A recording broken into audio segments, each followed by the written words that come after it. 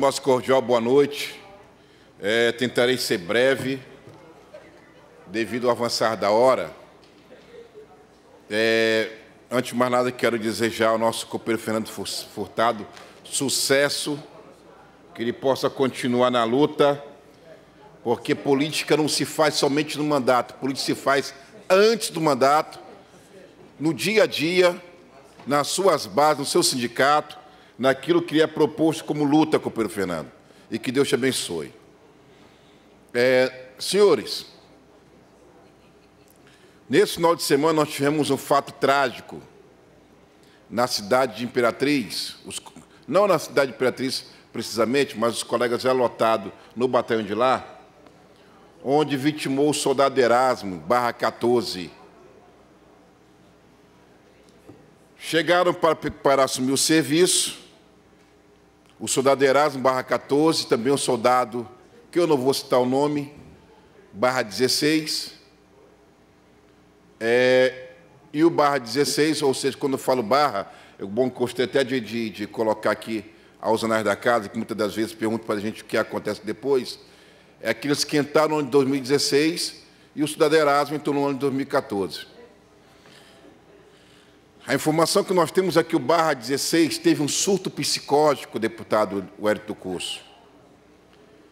E disparou várias vezes contra o colega, atingindo pelas costas. A informação que nós temos foram oito tiros.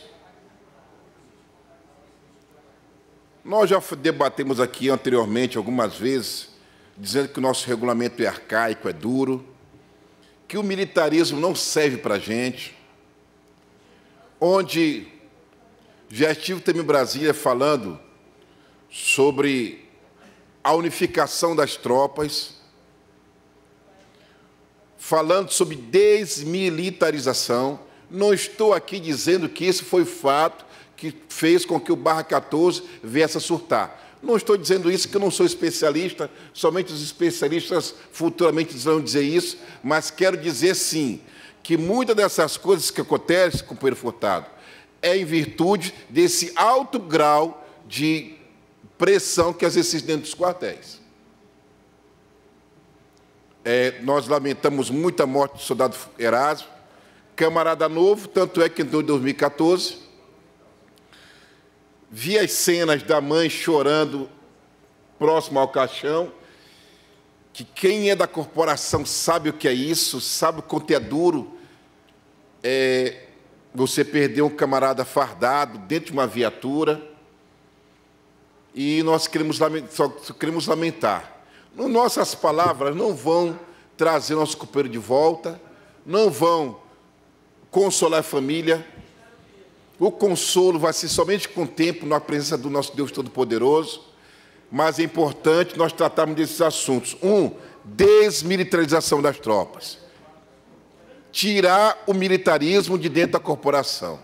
Dois, ciclo completo, que somente no Brasil existe polícia preventiva e polícia judiciária. Tem que ser uma só polícia. Três, que no sábado um dos itens dados pela reunião das associações foi o fim do RDE.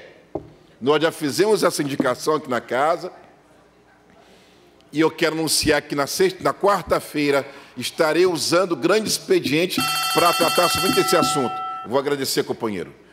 Somente desse assunto, gostaria que o deputado Coutinho tivesse presente aqui na quarta-feira também, para partilhar, que tem muito conhecimento com relação a isso. Na quarta-feira, nós vamos estar tratando daquilo que foi acertado na, na associação, nas associações, no sábado, na reunião feita na Associação de Pindaré. E eu quero lamentar a morte do nosso companheiro Erasmo. Que Deus abençoe a todos.